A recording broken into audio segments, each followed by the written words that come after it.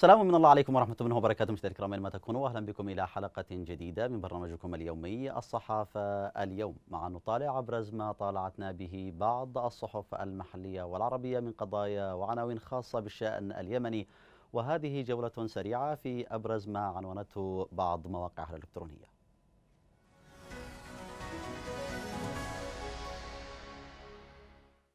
البداية من وكالة الثاني من ديسمبر وفيها نقرأ. تحذيرات أمريكية تلاعب الحوثيين بأسعار الوقود يفاقم الأزمة الإنسانية في اليمن. إجراء انفصالي تبع استحداث جوازات حدودية. اشتراطات حوثية على حركة المسافرين بين شمال البلاد وجنوبها. الحديدة تحركات مكثفة للميليشيات الحوثية تنتهي بالفشل الذريع. وخسائر بشرية ومادية فادحة في ثمان جبهات. قائد المقاومة الوطنية مهنئا شقيقه محمد بعيد ميلاده. السعادة مؤجلة حتى تنتصر على سجانك. في وكالة خبر قصف حوثي طال الأعيان المدنية في الجبلية والفاز جنوب الحديدة. الضالع ميليشيا الحوثي تقصف بقذائف الدبابات منطقة سليم غربي قاطبة وتضرر منازل.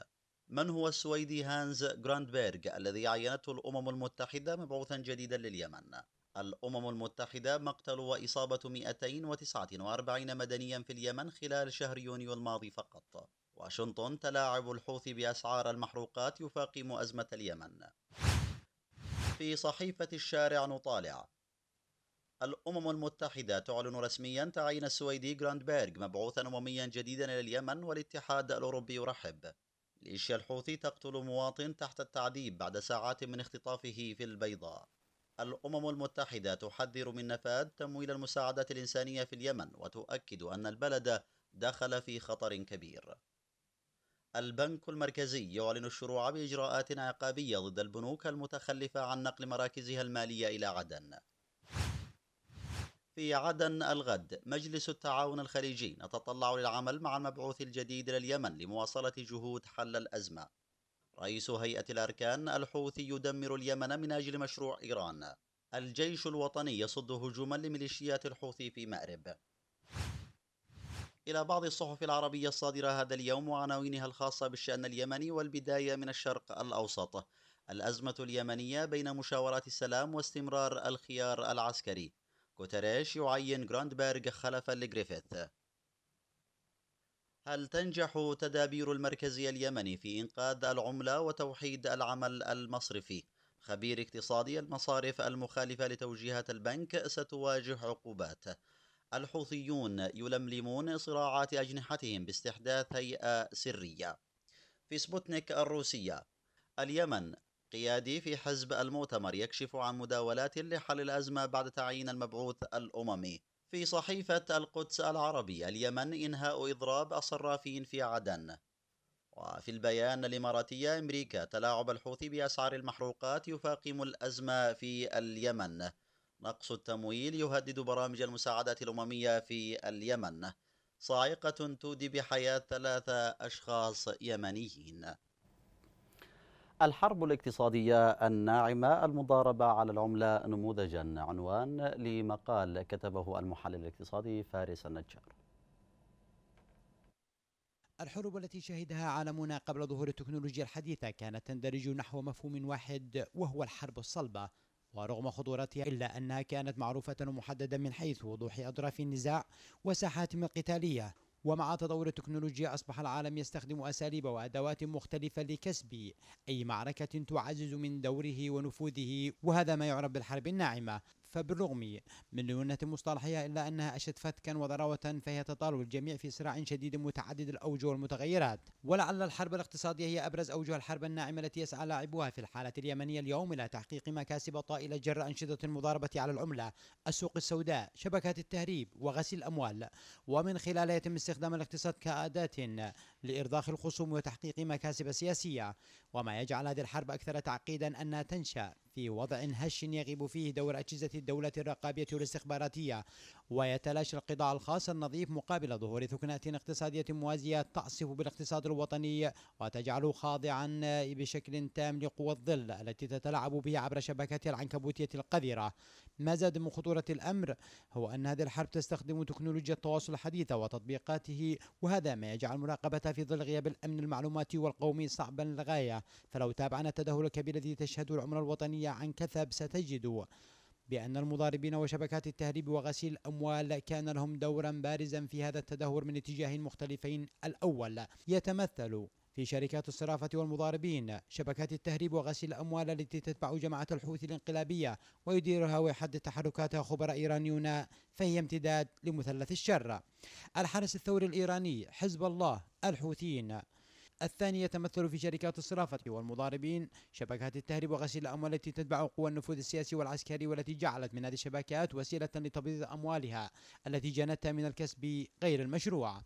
وفي ظل هذه المعطيات فإن أي جهود لإعادة بناء مؤسسات الدولة تجعل هذه القوى أول مستنفرين لإنشاضها والشواهد في واقعنا اليوم واضحة وجلية. إلا أن التسليم بأن الأمر قد انتهى وأن هذه القوى لا يمكن القضاء عليها مفهوم خاطئ يعتريه السلبية والتفكير السطحي الذي يقبل بالنهايات المسيئة للوطن والتاريخ. لذا فإن الواقع يحتم علينا الانتقال إلى مرحلة جديدة من المواجهة. تكون فيها الدولة والمجتمع صفا واحدا. وهذا لا يأتي إلا بصناعة وعي جماهيري كبير بماهية الحالة الاقتصادية اليمنية وأسبابها ووسائل حربها وتوجيهها عبر جماعات الضغط. ومنظمات المجتمع المدني نحو تشكيل حالة من الرقابة المجتمعية التي تواجه هذا الحرب الاقتصادية ومنتسبيها. وتجعل مكشوفين للمجتمع والعالم. والخطوة الأولى تبدأ بكشفهم إعلاميا ومجتمعيا ورفض التعامل معهم. إن تشكيل حالة من الوعي والثقافة مجتمعيا تجاه محاربة الفساد ورفضه تنشئ جيلا يحترم القانون ويتعامل معه كأسلوب حياة ومنهاج يقاوم به قوى الشر والظلام. لذا فإن دور الإعلام الوطني ومنظمات المجتمع المدني يجب أن يكون حاضر ولو غاب الجميع. فالإعلام والمجتمع المدني بمؤسساته المختلفة ونقاباته المهنية والعمالية غير المسيسة هي الملاذ الأخير لكسر الجمود وإحداث التغيير الذي يتطلع إليه أبناء شعبنا اليمني العظيم. أما خالد سلمان فقد كتب مقالا تحت عنوان نهاية حرب اليمن مرهونة بتوافقات دولية. يمكن تسمية حرب اليمن حربا من طرف واحد وإن كانت بلا حسم لأن شروط حسمها وتحديدا العامل الخارجي لم تنضج بعد أو لم يتخذ قرارا بحسمها. بانتظار ملفات إقليمية أخرى على طاولة الاستحقاقات وذات صلة بالشأن اليمني كالمفاوضات الأمريكية الأوروبية الإيرانية بشأن الملف النووي وترسانة أسلحتها ومساحة تدخلاتها في المنطقة والحوارات السعودية الإيرانية التي ما زالت على المستوى الأمني العسكري ولم تصل بعد إلى المستوى السياسي المخول باتخاذ القرارات المصيرية النافذة. حرب اليمن. أريد لها أن تتحدد نهايتها بتوافقات دولية إقليمية بتسويات لقضايا عدة وإبرام صفقات تبادلية وتفكيك بؤر النزاع المهيمن عليها إيرانيا مقابل تطبيع العلاقات مع ظهران وإخراجها من قائمة الدول المارقة وإعادة إدماجها في المجتمع الدولي. اليمن مسرح حرب استنزاف من طرف واحد تدفع ثمنه السعودية وتحصل فواتيره السياسية المربحة ظهران وبالتالي مفتاح وقف الحرب أو تخفيض حدتها أو تصعيد المواجهات تبدأ وتنتهي طبعا بتفاهمات دولية في العاصمتين المتحاربتين في اليمن وتبقى كل الأطراف المحلية مجرد أدوات خارج سلطة القرار. بجملة واحدة ما يحدث هو حروب إنابة بدمنا دفاعا عن مصالح لا تمت لليمنيين بصلة. إذا الخبر اللافت هذا اليوم هو الأمم المتحدة تعين مبعوثا أمميا جديدا إلى اليمن. هذه المرة جراندبيرغ السويدي. المبعوث الأممي الجديد أو السويدي جراندبيرغ هذا الاسم هو طرح للأمم المتحدة قبل ما يقارب شهرين. حينها تم الاعتراض من الصين بحق استخدام حق الفيتو اعتراضا على تسمية السويدي. ما الذي حصل حتى تعود الصين لتعطي الضوء الأخضر مجددا بأن يتم تعيين السويدي؟ وما هي الصفقات التي تمت؟ كل هذه أسئلة ربما تدور في خاطر كل من يقرأ هذه الأخبار. لكن ما يهم اليمنيين هو ما الذي سيقدمه جراندبيرغ خاصة أن معظم اليمنيين لم يعد يكترث لتسمية مبعوث أممي جديد ويروا أن الأمم المتحدة باتت جزءا من المشكلة لا جزءا من الحل. لمناقشة هذا الموضوع ولماذا وصلت الأمور إلى ما وصلت إليه يسرني أن يكون ضيفي الأستاذ محمد الشجاع الصحفي والكاتب السياسي. أهلا بك أستاذ محمد. أهلا وسهلا مرحبا بك. كما سينضم إلينا عبر الهاتف مجموعة من الضيوف الكرام لكن قبل ذلك نتوقف مع فاصل قصير.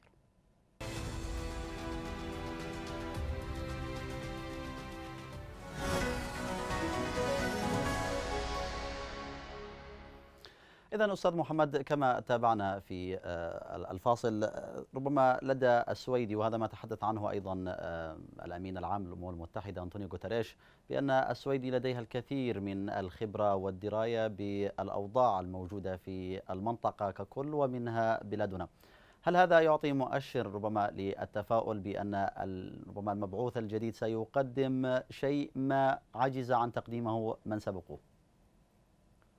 على الإطلاق أعتقد هي مجرد يعني تماهي من الأمم المتحدة. بالنهاية ما الذي سيقدمه هذا المبعوث الجديد؟ ومن أين سيبدأ؟ حتى إذا كان هناك مشروع يعني جاهز تقريبا من أيام غريفيت أو كذا أعتقد لن يكون ناجح بالطريقة التي يريدها اليمنيين. اليمنيين وصلوا إلى مرحلة من اليأس وصلوا إلى مرحلة من عدم الثقة آه، بالأطراف المتصارعة بالأطراف المتحاربة وحتى الأطراف الدولية الفاعلة في اليمن والوسيطة. آه، أعتقد المبعوث الأممي لن يقدم آه، الجديد لن يقدم شيء حتى وإن كان هناك مشروع جديد آه، لن يكون ناجع لأنه السؤال السؤال من أين من أين سيبدأ هذا المبعوث؟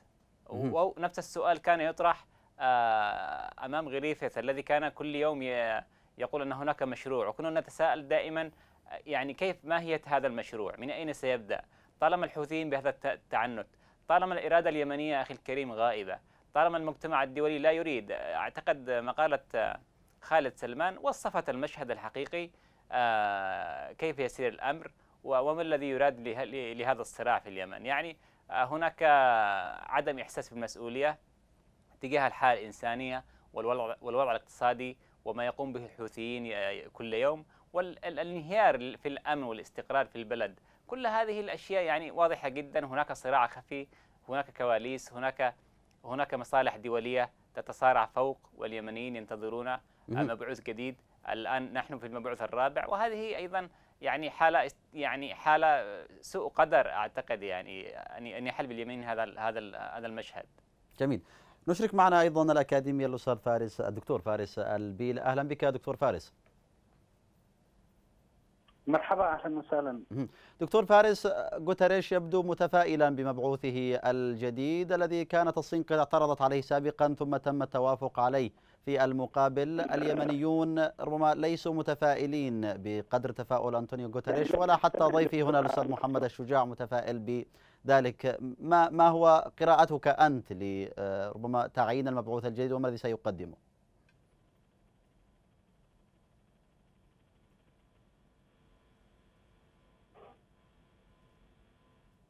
دكتور فارس هل تسمعني؟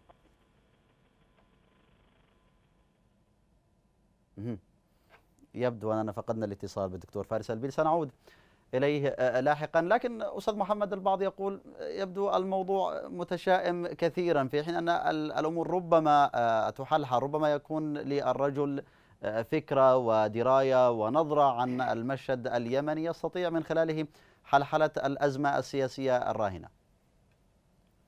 أخي الكريم المعطيات منذ سبع سنوات آه، تقول غير ذلك. يعني نحن قربنا ولد الشيخ قربنا بن عمر قربنا غريفة. كل هؤلاء يعني أعتقد آه، لم يقدموا شيء بالمعنى الحقيقي للأزمة اليمنية والمواطن اليمني وللجغرافيا اليمنية بهذه الصورة. يعني حتى أمم العالم آه، الأمم المتحدة لعبت دور أيضا غير غير مجدي حافظت على على موظفيها حافظت على إيصال بعض المساعدات التي تنهب أيضا آه، جزء كبير منها يعني بهذه الصورة. لكن على على مستوى كوسيط في في حل آه، الأزمة السياسية لم تقدم شيء. اليمنيين ما زالوا يعانوا. اليمن متشظية. الحوثي متعنت كثيرا. آه، تجاوز كل الحدود.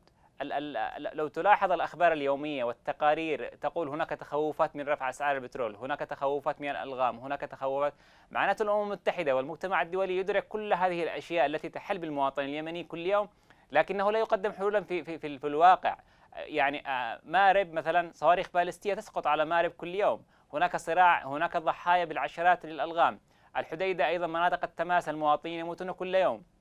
رغم أن هناك كان اتفاق السويد قبل سنتين ونصف تقريبا ثلاث سنوات.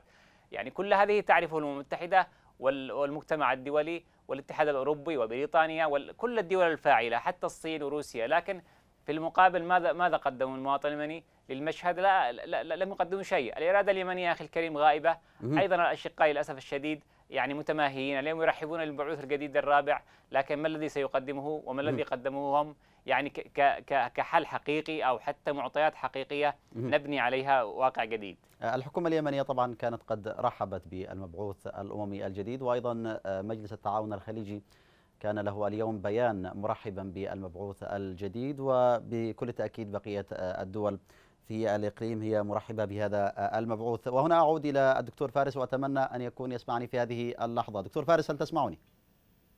أسمعك نعم كنت قد سألتك عن رأيك في المبعوث الأممي الجديد وما الذي سيقدمه للأزمة اليمنية. أنطونيو غوتاريش متفائل بمبعوثه الجديد وأيضا ركز على خلفياته وفهمه لطبيعة الصراع في المنطقة باعتباره عمل قبل ذلك في منطقة الشرق الأوسط في المقابل اليمنيون غير متفائلين ومن ضمنهم أيضا ضيفي الأستاذ محمد الشجاع ما هي قراءتك أنت دكتور فارس؟ هو في الحقيقة يجب أن نضع هذه الفكرة وهذا الموضوع في حدوده الطبيعية بمعنى ما الذي يمكن أن يحدثه آه، أو تحدثه الأمم المتحدة كمنظومة؟ أما المبعوث فهو مجرد آه، رسول للمبعوث عفوا للأمم المتحدة. هذا من ناحية. في كل الأحوال أنا أتصور أن مهمة أي مبعوث هي آه، مجرد تيسير سبل الوصول إلى آه، تسوية أو إلى سلام معين. آه، لا يمتلك أي مبعوث عصا سحرية لإحلال السلام. وليس مطلوبا منه أن يفرض السلام بقوة أو بإجراءات أكثر مما يستخدم الأدوات الناعمة وبذلك آه، يبالغ اليمنيون كثيرا في الاعتماد على الأمم المتحدة وعلى المبعوث الدولي وكأن عليه أن يفعل كل شيء وكأن عليه أن يعيد الدولة وعليه أن يهزم الحوثي وعليه ان هذا غير منطقي بالمطلق. الأمر الآخر وهو مسألة آه أنا أتصور أن الحل يبدأ من تصورات اليمنيين للمشكله نفسها. بمعنى أن آه على اليمنيين أن يدركوا أن الحلول التي تأتي من خارج هي حلول آه، تراعي أن تصل إلى مرحلة من التسويات لا أقل ولا أكثر. لكن ما الذي يريده اليمنيون بالفعل؟ ما الذي يريده اليمنيون في مستقبلهم؟ هذا هو الذي سيصوغ أي حلول قادمة. ولذلك الاعتماد على الأمم المتحدة الاعتماد على أن هذا المبعوث جاء من السويد والآخر من كذا وخلفياته معينة هو في الأخير يلتزم بأداء مهني موضوعي. صحيح يمكن أن أن تختلف درجات الاهتمام درجات الوضوح نوعا ما درجات التحركات لكن في الأخير النتيجة واحدة. دكتور فارس في هذه النقطة بالتحديد لا أريد أن أتجاوزها فقط وإن قاطعتك. إذا كان كل هذا الحديث عن ربما دور المبعوث الأممي فقد يسأل سائل لماذا إذا اعترضت الرئاسة اليمنية وأرسلت رسالة إلى أنطونيو غوتيريش تطلب تغيير مارتن جريفيث واعترضت على كل تلك الأمور التي تعلمها أنت جيدا إذا كان دوره فقط لا ليس بالمحوري والأساسي. آه، اليمن منذ أن بدأت أزمتها وأدخلت الأمم المتحدة أو سلمتها ملف الأزمة والمعروف والمعلوم لدى كثير من الأطراف أن الأمم المتحدة كما قلت أدائها مجرد مهني أو لتكن هي سكرتارية القوى الدولية الكبرى. لا أقل ولا أكثر صحيح ستظهر في في أمام الرأي العام أنها قادرة على فعل شيء لكن في الحقيقة هي لا تمتلك ما لم تكن هناك رغبة دوليه هي التي تسبق أداء الأمم المتحدة في الأخير أداء الأمم المتحدة أداء لا يتجاوز المهنة ولا يتجاوز الموضوع وبأدوات ناعمة في كل الأحوال. اعترضت اليمن مثلا على هذا المبعوث أو احتجت على ذاك أو هي هي مواقف قد تكون مواقف سياسية للضغط لكن في الأخير هي تدرك تماما. أو إذا كانت تظن الشرعية أن المبعوث الدولي هذا أو ذاك هو القادر على حل المشكلة وذاك غير قادر على حل المشكلة فهذا تصور خاطئ، الحل يبدأ من اليمنيين أنفسهم. إنما الأمم المتحدة مجرد ميسر، مجرد آه وكل المبعوثين يقولون هذا الكلام، صحيح أننا نحتاج منهم ما الذي نحتاج؟ نحتاج أن يكون هنالك وضوح. وأن يكون هنالك توصيف حقيقي للمشكلة وألا يصلوا إلى مرحلة التعقيد. أما أن ننتظر منهم حلا سحريا فهذا أعتقد أنه مجافي للحقيقة ومجافي للواقع جميل. المطلوب أن يكون هنالك تحديد من الذي يعرقل ووضعه أمام الرأي العام وممارسة الضغوط الدبلوماسية التي ينبغي أن تمارس في هذه المسائل. جميل، ربما هذه النقطة بالتحديد تحتاج إلى مبعوث أممي وهذا لم نجده عموما في السابقين. آه، من يحدد المشكلة أين وما هي؟ وإن كان البعض أيضا يقول أن الأمم المتحدة دورها أكبر من ذلك والكل شاهد ما الذي كانت عليه الأمم المتحدة ومارتن جريفيث وغيرها في إيقاف معركة تحرير الحديدة. آه، أرحب أيضا بالأستاذ رماح الجبري الصحفي والكاتب السياسي معنا أيضا عبر الهاتف. أهلا بك أستاذ رماح.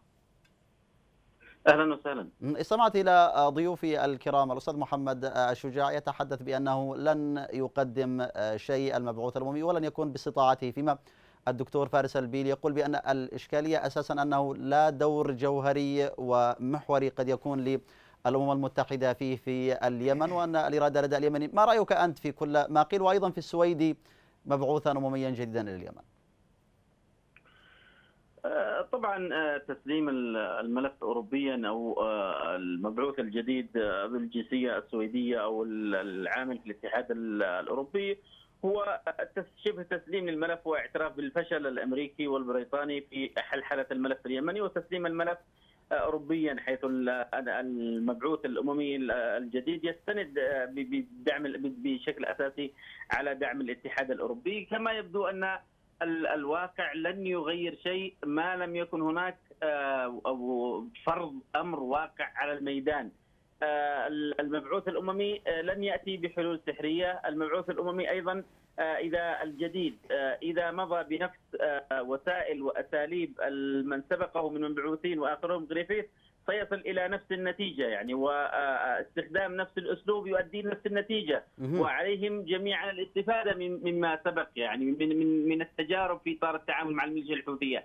أيضا مسألة أن ياتي ان ان أن يأتي جميع المبعوثين آه، آه، بمسألة عدم الانحياز لطرف أو الحياد السلبي، نحن أمام ميليشيا إرهابية لا تختلف عن التنظيمات الإرهابية الأخرى، يجب أن تكون هناك الرؤيه واضحة للمجتمع الدولي وأمام طرف أو جهة أو منظمات ومؤسسات دولة تطالب باستعادة هذه الدولة، تطالب بالقانون بالعدل، ولذلك الحياد هنا مشكلة وانحياز لهذا المجرم الذي لا يزال يمارس الإجرام وتشجيعا له على استمرار هذه الجرائم.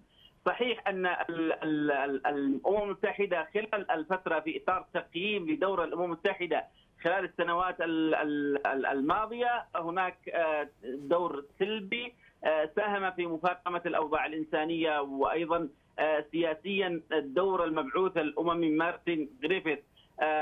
أوقف المعركة، نحن نستطيع أن نقول أن المعركة في مواجهة الميليشيا الحوثية توقفت فعليا باتفاق السويد. لم تعد المعركة بذاك الزخم. آه، لم تعد الحرب بتلك القوة. عندما أوقفت معركة الحديدة وجاء اتفاق السويد آه، تحول حتى مسار المعركة كان آه، إلى ما قبل اتفاق السويد. كان الجيش الوطني مستمر والمعركة مستمرة بانتصارات متوالية بعد أن كانت الميليشيا الحوثية في مدينة عدن أو على أطراف مدينة عدن أصبحت تتراجع أو أصبح الجيش كان إلى آه، على أبواب مدينة صنعاء. اتفاق السويد غير قواعد اللعبة، آه، غير المعادلة السياسية حتى أصبحت الميليشيا الحوثية اليوم هي في موقع موقع الهجوم. كانت معركة الحديدة تمثل نقطة تحول للمعركة الوطنية لإضعاف الميليشيا الحوثية وهذا وهذه نقطة تحسب للدور البريطاني وللمبعوث الأممي مارتن جريفيث وللأمم المتحدة في تحويل في تحويل مسار المعركة لصالح الميليشيا الحوثية، أيضا المسار الإنساني آه، مع كل آه، عام نجد أن الأرقام تتضاعف وأن وأن المعاناة الإنسانية مستمرة آه، في ظل في ظل الدور السلبي، بمعنى أن الرهان على الأمم المتحدة رهان خاسر، الميليشيا الحوثية وقواعد اللعبة لا يمكن تغييرها إلا من خلال فرض واقع جديد ميداني على أرض المعركة. وأنا باعتقادي أيضا أن السيطرة على الجبال أو السباب أو ما غير أو, أو, أو غير ذلك لا تمثل أهمية استراتيجية يمكن أن تغير اللعبة، ما يغير قواعد اللعبة هي المدن الكبيرة وأهمها مدينة الحديدة، ينبغي ان أن يكون هناك آه، ضوء أخضر لتجاوز اتفاق ستوكهولم، ينبغي أن تتغير قواعد اللعبة وإلا تستمر الميليشيا الحوثيه في تقدمها وتحقيق الكثير من التقدم والنقاط على الحكومة الشرعية. جميل جدا، أستاذ محمد الشجاع إذا كان دور الأمم المتحدة غير مجدي دور الأمم المتحدة ومبعوثها لا يمكن المراهنة عليه وما إلى ذلك لكن استمعت إلى ما يطرحه الأستاذ رماح الجبري. بالعكس الأمم المتحدة كان لها دور فاعل جدا في إيقاف المعركة بل وقلب وخلط الأوراق وقلب موازين القوى بإيقافها معركة الحديدة. صحيح الأمم المتحدة منذ اتفاق ستوكهولم وإيقاف معركة الحديدة آه، أوصلت الناس إلى مرحلة من اليأس يعني حتى ضربت القوى السياسية في بعضها. يعني ضربت كل أي أمل أو بارقة أمل لدى المواطنين باستعادة صنعاء واستعادة الحديدة. الحديدة بالذات يعني ال ال الهدف من من إيقاف المعركة والاتفاقية كان هدف إنساني بحت وهذا كان كلام فارغ كلام يعني زيف يعني من قبل الأمم المتحدة. آه، اليوم يقتلوا بالعشرات الناس سواء من الألغام سواء من ضربات الهاون أو ضربات الدبابات. يعني مواطنين بيوت مساجد زراعة ألغام كل يوم. يعني أعتقد الأمم المتحدة آه أيضا مدينة مأرب التي لا تقل عدد سكانا عن آه، مدينة الحديدة وفيها لاجئون كثر ومع ذلك لم يتم المعاملة بالمثل على الأقل. بالضبط بالضبط. أعتقد الأمم المتحدة أخي الكريم فشلت سياسيا آه خلال سبع سنوات أو خلال يعني من من بعد 2011 فشلت فشلا ذريعا. وهي مرتبطة بالقوى الدولية لابد يجب ان ان ان, أن نؤمن بهذه بهذا الشيء. حتى المبعوث الجديد هو مرتبط بإيديولوجية معينة بأهداف وأجندة معينة لن يقدم جديد. إلا اذا إذا كان في إطار سياسي معين آه، المشهد والمعطيات تقول أنه لا يمكن أن نصل إلى مرحلة جديدة جميل. أو أو أو أو, أو أو أرضية سياسية جديدة ممكن نبني عليها شيء. ربما الآن سؤال أستاذ محمد ما الذي ربما المبعوث لدينا مبعوث الآن أممي لدينا مبعوث أمريكي، المبعوث الأمريكي تحدث بالأمس آه، آه، ليندركينغ وقال إن الحوثيين هم من يتحملون المسؤولية الإنسانية والأخلاقية في اليمن بتلاعبهم بأسعار المحروقات وما إلى ذلك، هل تعتقد أن هناك ربما سيكون تناغم ما بين المبعوث الأمريكي والمبعوث الأممي للوصول ربما إلى نقطة واضحة. ما ما أشاهده ما ألاحظه أن ربما التصريحات من المبعوث الأمريكي أكثر وضوحا آه، في تسمية المعرقل ومن يتسبب بهذه المأساة الإنسانية. أخي الكريم الدكتور فارس البيل آه، تتحدث عن الشفافية. حتى الشفافية غير موجودة لدى الأمم المتحدة. لو لاحظنا مسيرة خلال السنتين وشوية غريفث كان الإحاطة حق يعني الإحاطة التي يقدمها الأمم المتحدة إحاطة تأتي على استحياء إحاطة غير واضحة رغم أن هناك في الحديدة قتل قتل من اللجان التي كانت تبع الامم المتحدة أمام غريفث زرعوا الألغام كانوا ينزعوها وعندما تمر اللجنة وتعود يعيدوا زراعه الألغام. كل هذه الأمور التي كانت واضحة للعيان أمام الامم المتحدة والمبعوث الأممي لم لم تكن هناك شفافية. تعاملوا مع الحوثي على انه على أنه طفل مدلل على أنه جماعة جماعة سلام جماعة محبة رغم كل الكوارث التي صنعها قدام أعين المتحده ورغم التقارير اليومية التي يعني ترفعها المنظمات. لكن مع ذلك لا توجد شفافية. حتى الشفافية آه، افتقدناها. الأمم المتحدة فشلت فشل ذريع.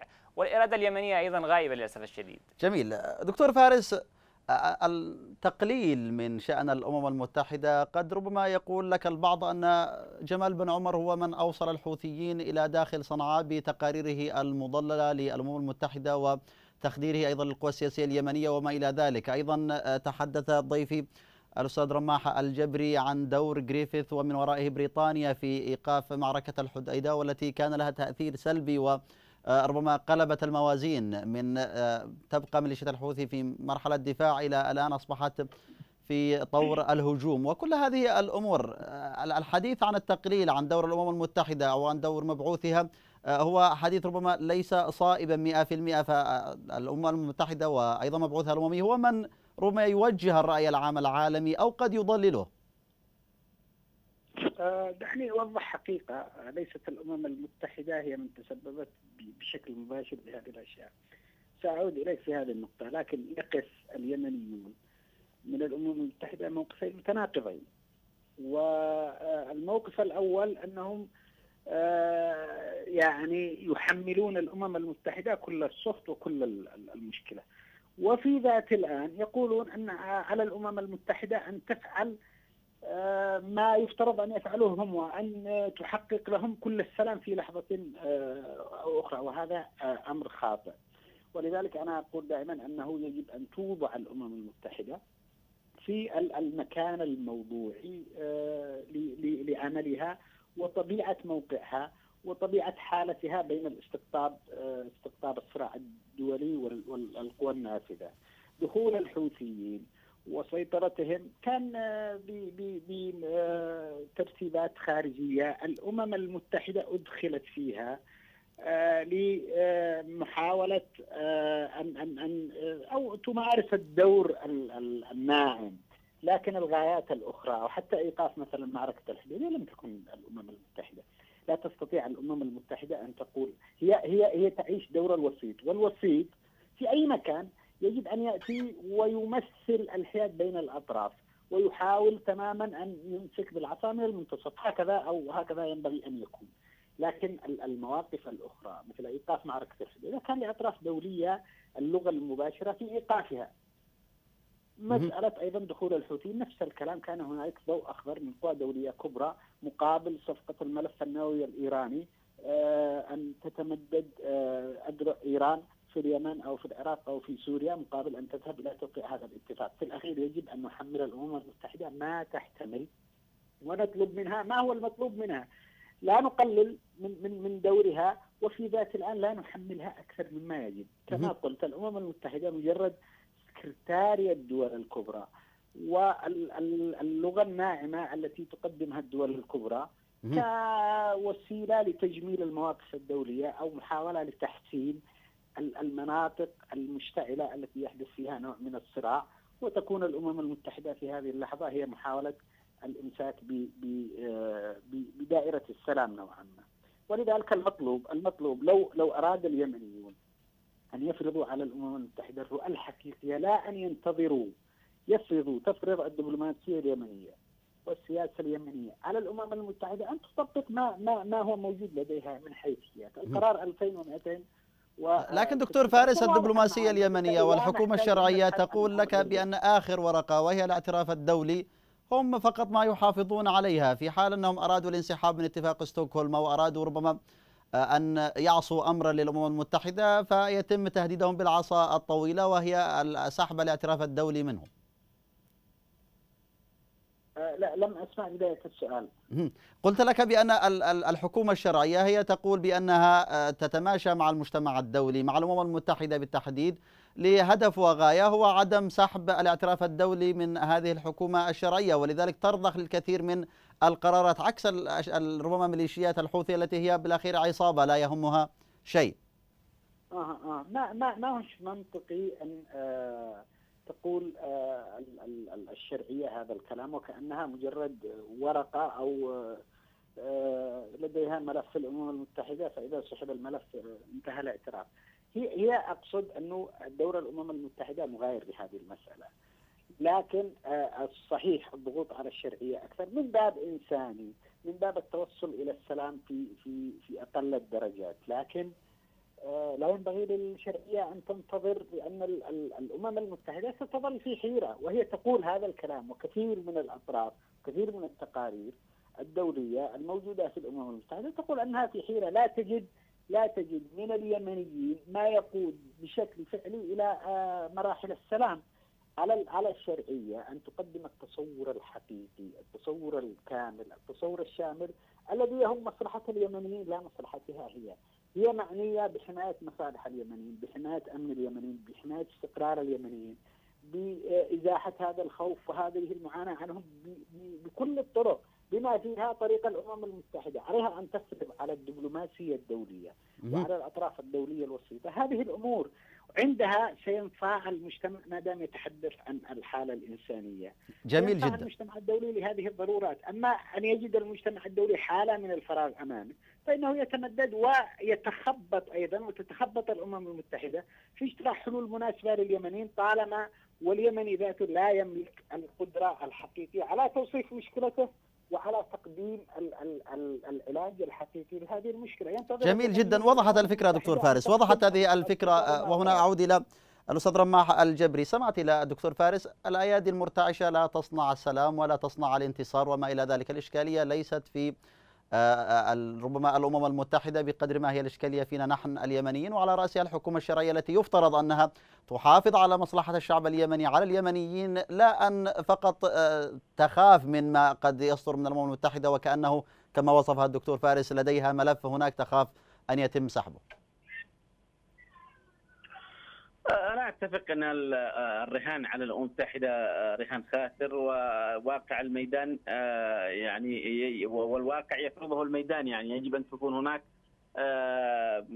يعني تغيرات ميدانية حاصلة في الميدان، الميليشيا الحوثيه اولا لا تفهم إلا لغة القوة ولم تخضع لاتفاق ستوكهولم إلا آه، بعد أن كانت القوات المشتركة على أبواب آه، مدينة الحديدة، المبعوث الأممي الجديد آه، كما يبدو من خلال سيرته الذاتية قليل الخبرة بالصراعات والحروب لم يتولى ملف من قبل بما يخص الصراعات والحروب لديه إرث ثقيل بما بخصوص التصرفات التي مكنت الميليشيا الحوثية أو قوت من طرف الميليشيا الحوثية وإعادة الميليشيا الحوثية آه، إلى حجمها الطبيعي في إطار التعامل آه، مع القوى الدولية آه، إذا ما كان عازما على هذا المبعوث الأممي. كون ذلك هو طريق الحل سيجد المبعوث الأممي الجديد نفسه في في في صراع أو في مقاطعة مع الميليشيا الحوثية. أيضا إذا ما استمرت الميليشيا الحوثية أو استمر المبعوث الأممي في إطار تقديم العروض من عرض لاخر آه، والميليشيا الحوثية ترفض ثم يذهب إلى الحكومة الشرعية ويأتي ببنود جديدة. آه، كنا نرفض رفضا كاملا ما يسمى بالإعلان المشترك ونعتبر ذلك استسلاما. آه، للأسف الشديد الإعلان المشترك تحول إلى مبادرة فيما بعد من التحالف أو السعودية. تستمر التنازلات فيما الميليشيا الحوثية تواصل الرفض يعني بمعنى أن الميليشيا الحوثية سنصل في النهاية إلى أننا آه، هي الممسكة بزمام الأمور والعالم كله يستجلب أو يحاول أن يسترضيها آه، بالعروض والبيانات من أجل إحلال السلام في اليمن، يجب أن أن يساند المجتمع الدولي العدالة ومستقبل اليمن، يجب أن لا تسلم اليمن لإيران لأن هذه الميليشيا الحوثية أداة إيرانية آه، تستخدم لتهديد الأمن القومي تستخدم ل آه، لكن دك... أستاذ رماح لا لا يمكن المجتمع الدولي أن يأتي ويدافع عن الأرض اليمنية وعن اليمنيين وأن يسلموا إلى إيران أو إلى سين أو إلى صاد. المجتمع الدولي ليس جمعية خيرية في الأخير. يعني. اليمنيون هم من يفترض أن يقوموا بهذا الدور وعلى رأسهم من يمثلهم. من يدعي أنه هو السلطة الشرعية التي تمثل يجب فرض ذلك على الواقع. هذه الفكرة هذه الفكرة بحاجة لتوضيح إذا كان الوقت يسمح. آه، سريعا. المجتمع الدولي إذا كان عاجزا المجتمع الدولي إذا كان عاجزا عن آه، آه، عن استخدام أساليب ووسائل ضغط ضد الميليشيا الحوثية لإجبارها لتحقيق السلام فليترك اليمنيين ولا يقيدهم للأسف الشديد المجتمع الدولي اليوم يقيد المعركة في الحديدة، المعركة في الحديدة هي قلب الميليشيا الحوثية وإذا ما استمر المجتمع الدولي في آه، بقيوده وقراراته في منع التحرك العسكري في الحديدة بمعنى أنه يجب أن يضغط على الميليشيا الحوثية وإلا فليترك الخيار أمام الجيش ليحرر مدينة الحديدة وتحريك المعركة هناك. جميل جدا، أستاذ محمد آه، ما رؤيتك ربما لمستقبل آه، المبعوث الأممي الجديد في اليمن؟ وهل بالفعل سترفع المجتمع الدولي كما قال الأستاذ رماح إذا كان عاجزا عن الضغط على ميليشيات الحوثية اليد في الحديدة أما أن ذلك يحتاج إلى قرار أولا من الحكومة الشرعية وأن تكون قوية بما يكفي لكي تتخذ مثل هكذا قرار؟ أخي الكريم الصورة واضحة أن الملف اليمني مرتبط بأجندة عالمية. وصراعات إيران والسعودية والصين وروسيا وأمريكا آه، للأسف الشديد. والإرادة اليمنية كما قلت أكثر من مرة غائبة تماما. الشرعية أيضا غائبة لم تقدم حتى لحظة شيء آه، كان يفترض بها آه، أن تقود العملية السياسية أن تجمع الصف الوطني لكن للأسف الشديد حتى لو تركتنا الأمم المتحدة والمجتمع الدولي وبهذه الأجندة الموجودة بهذه الشرعية الرخوة لن لن يحدث اي أي تغيير. الحوثي استقوى على الجميع. الحوثي برز بروز شديد. آه، اليوم يسيطر على الشمال بشكل آه، واخضعه تحت تهديد السلاح. آه، يغير كل شيء يريده. أعتقد هناك إشكالية في الملف اليمني. هناك إشكالية محلية. وهناك إشكالية إقليمية. والإقليم فعلا لن يقدم أو المجتمع الدولي لن يقدم شيء طالما الإرادة اليمنية غائبة والقيادة متخاذلة. أشكرك جزيل الشكر الأستاذ محمد عبد الشجاع الكاتب وأيضا الصحفي كنت ضيفي من القاهرة. شكرا جزيلا لك. الشكر أيضا موصول للدكتور فارس البيل الأكاديمي. كان ضيفا أيضا عبر الهاتف وأيضا الأستاذ رماح الجبري الصحفي والكاتب السياسي والآخر ضيفنا عبر الهاتف. شكرا لكم جميعا. الشكر دائما لكم. أنتم مشاهدينا الكرام ما تكونوا على حسن الإصغاء والمتابعة. غدا حلقة جديدة. إلى اللقاء.